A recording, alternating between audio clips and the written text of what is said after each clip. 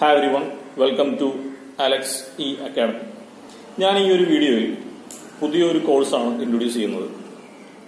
Civil എഞ്ചിനീയറിംഗിൽ Kerala technological university fifth സെമസ്റ്ററിൽ വരുന്ന പേപ്പർ വാട്ടർ റിസോഴ്സ് എഞ്ചിനീയറിംഗ് പേര് കേൾക്കുമ്പോൾ തന്നെ നിങ്ങൾക്കറിയാം സംതിങ് റിലേറ്റഡ് ടു വാട്ടർ അല്ലെങ്കിൽ വാട്ടറിന്റെ സ്റ്റഡിയുമായിട്ട് റിലേറ്റ് ചെയ്ത ഒരു സബ്ജക്റ്റ് ആയിരിക്കും. ഈ വാട്ടർ റിസോഴ്സ് എഞ്ചിനീയറിംഗിനെ നമുക്ക് മെയിൻലി രണ്ട് പാർട്ടായിട്ട് ക്ലാസിഫൈ ചെയ്യാം.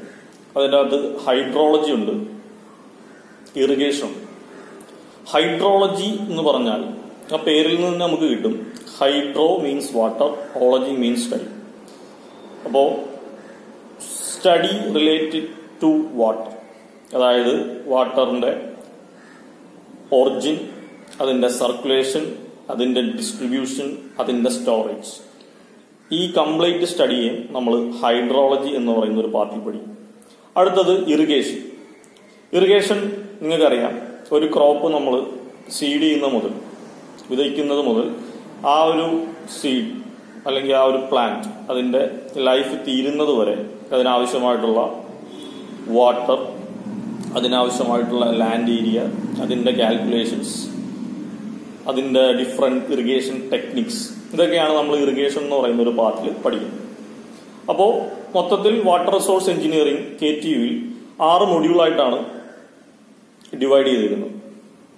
ഓരോ മൊഡ്യൂളിലും എന്തൊക്കെയാണെന്നുള്ളത് നമ്മൾ അപ്കമിങ് സെഷൻസിൽ നമുക്ക് ഡീറ്റെയിൽ ആയിട്ട് ഡിസ്കസ് ചെയ്യാം. അപ്പോൾ ഓവറോൾ വാട്ടർ റിസോഴ്സ് എഞ്ചിനീയറിംഗ് എന്താണെന്ന് നിങ്ങൾക്ക് ഒരു ഐഡിയ കിട്ടും. ഇനി ആസ് എ സിവിൽ എഞ്ചിനീയർ എന്നുള്ളതല്ല ആസ് എ ഹ്യൂമൻ ബീയിങ് നമ്മൾ അറിഞ്ഞിരിക്കേണ്ട കുറേ ടോപ്പിക് ഈ വാട്ടർ റിസോഴ്സ് എഞ്ചിനീയറിംഗിൽ വരുന്നുണ്ട്. നമുക്കറിയാം വാട്ടർ എന്ന് പറയുന്ന അല്ലെങ്കിൽ വാട്ടർ റിസോഴ്സ് ഡിഫറെന്റ് റിസോഴ്സിനെ പറ്റിയൊക്കെ നമുക്കൊരു പേടി ഉണ്ടായിട്ടുള്ള ഒരു കാലഘട്ടമാണ് കടന്നു പോകുന്നത് കഴിഞ്ഞ ഒരു മൂന്ന് നാല് കൊല്ലമായി.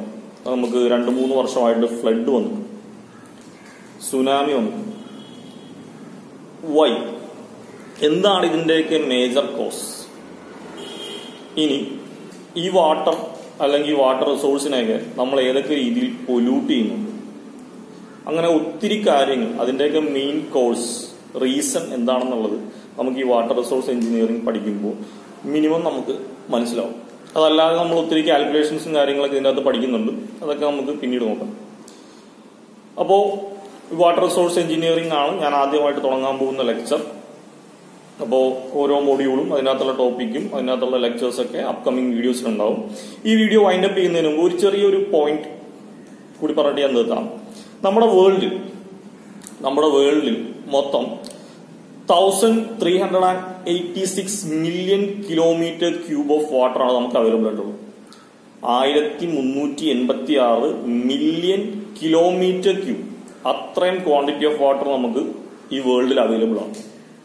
വലിയൊരു ക്വാണ്ടിറ്റിയാണ് ബട്ട് അതിൽ ninety six point five percentage ninety six point four ninety six point five percentage ഞാൻ ഈ പറഞ്ഞ ക്വാണ്ടിറ്റിയിൽ ninety six point five percentage വാട്ടറും സോൾട്ട് വാട്ടറും നമ്മുടെ കടലിൽ കാണുന്ന ഉപ്പ് വെള്ളം. അത് നമുക്ക് യൂസ് ചെയ്യാൻ പറ്റത്തില്ല.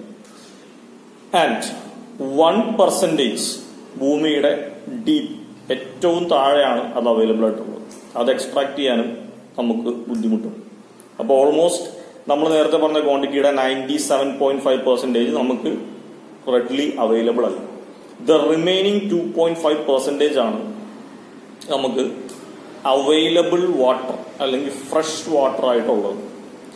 ഇത് കാൽക്കുലേറ്റ് ചെയ്ത് കഴിഞ്ഞാൽ ഏകദേശം ഒരു thirty five million kilometre cube ഈ ഒരു two point five percentage calculate ചെയ്താൽ thirty five million kilometre cube of water ആണ് നമുക്ക് അവൈലബിൾ ഇനി ഇതിൽ തന്നെ ഈ thirty five million kilometre ക്യൂബിൽ twenty six point four million kilometre cube ice ഫോമിലാണുള്ളത് അതായത് ആ വാട്ടർ നമുക്ക് ഐസ് ഫോമിലാണ് അവൈലബിൾ ആയിട്ടുള്ളത്.